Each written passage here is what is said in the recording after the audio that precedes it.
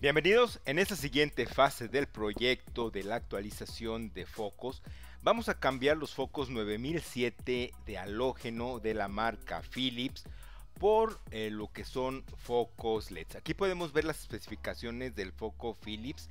Para los que no están muy familiarizados con eh, esta clase de focos, en el caso de Chrysler son focos de 55 watts y este es un foco con tonalidad azul para dar una luz más blanca. Aquí podemos ver lo que es el anillo con el que sella.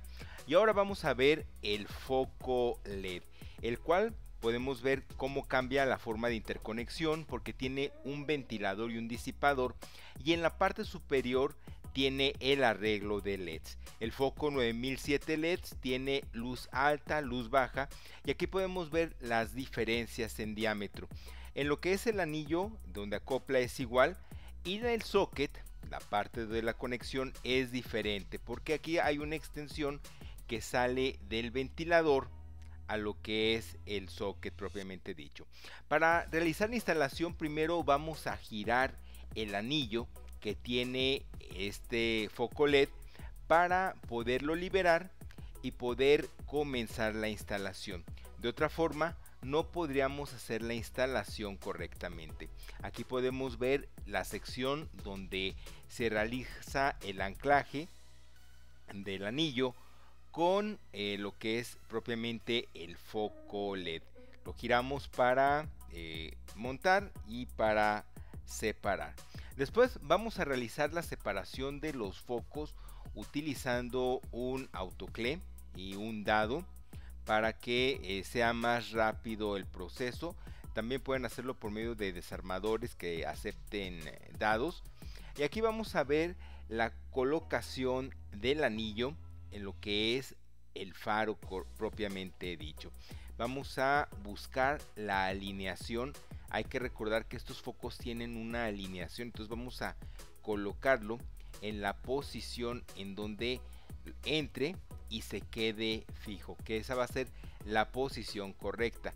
Aquí no hay una metodología, sino hay que irlo probando. En los focos de halógeno está sencillo porque simplemente manteniendo la orientación del foco en base al socket va a ingresar correctamente. Después tenemos el soporte que es lo que le da sujeción al foco LED.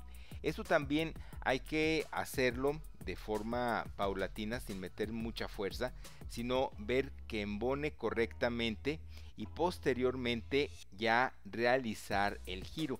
Aquí podemos ver las cejas que tiene para realizar la colocación. Entonces vamos a hacer la orientación y realizar el giro.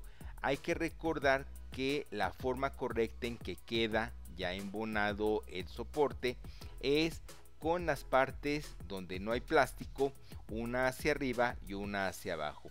Hay que moverlo para ver que no tenga juego y se coloque correctamente. Enseguida vamos a buscar la pestaña, que es la que les había mostrado previamente, y giramos para hacer la colocación del foco ya dentro de lo que es la configuración del faro. Hay que volver nuevamente Aquí es hacerlo con paciencia e ir colocando y girando paulatinamente para que embone correctamente y que no se dañe eh, la pestaña del foco LED. Una vez que ingresa hay que ver y tratar de que la salida o la toma de corriente, que es eh, donde está el socket, pueda quedar sin presión dentro de lo que es el soporte. Hay que tratar de liberar lo más que podamos para que con el pasar del tiempo la presión del plástico no lo dañe. Entonces aquí podemos ver cómo yo lo coloco para que ingrese adecuadamente.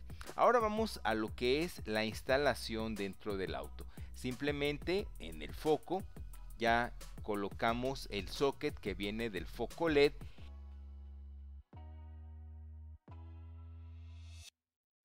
Vamos a iniciar para ver el resultado de la instalación de las luces LED. Vamos a iniciar con los cuartos o luces de navegación, las luces bajas.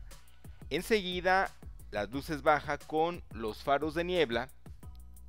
Y vamos a ver la activación de las luces altas teniendo los faros de niebla. Esto es nada más tirando la palanca hacia nosotros porque al momento de que fijamos las luces eh, altas totalmente, automáticamente se van a apagar los faros de niebla. Entonces, para que ustedes ven esto, esta es la razón.